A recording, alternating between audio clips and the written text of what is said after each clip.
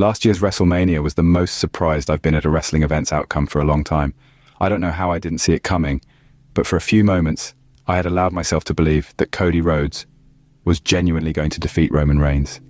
Mm, obviously that wasn't the case, which at the time most wrestling fans weren't best pleased with to say the least. There's a strong argument, however, that over the past year WWE has proven that it was worth Cody's loss to get to where we are today.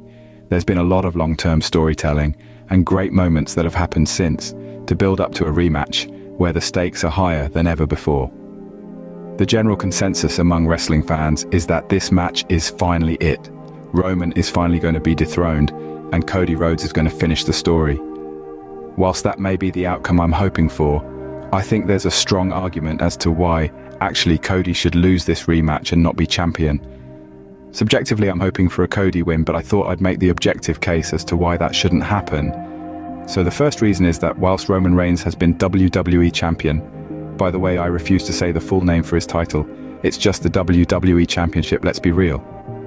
Anyway, whilst Roman has been WWE champion, the WWE has been going through a commercial and creative boom period.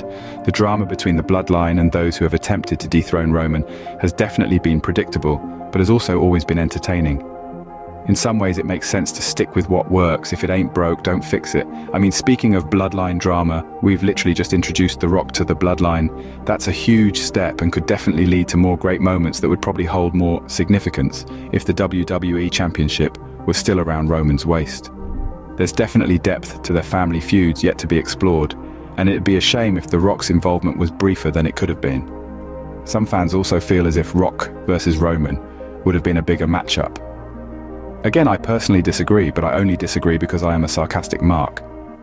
But there's no denying that The Rock is a much bigger mainstream star than Cody Rhodes. The Rock blows up ratings every time he makes an appearance, and that effect would only be amplified in a match for the championship at WrestleMania. And my final point is one that is rather subjective, that as much as I love Cody, I still feel like Roman is the bigger star. I hate to admit that, but when I think of the potential WWE and UFC crossovers that could happen due to the recent merger of the companies, I think Roman Reigns would be better in those situations. At least in terms of mainstream appeal. Saying that, could you imagine if Cody Rhodes took on Sean Strickland? Now that thought pretty much undermines my own final point. Either way, let me know what you think in the comments below. Much love Muppets.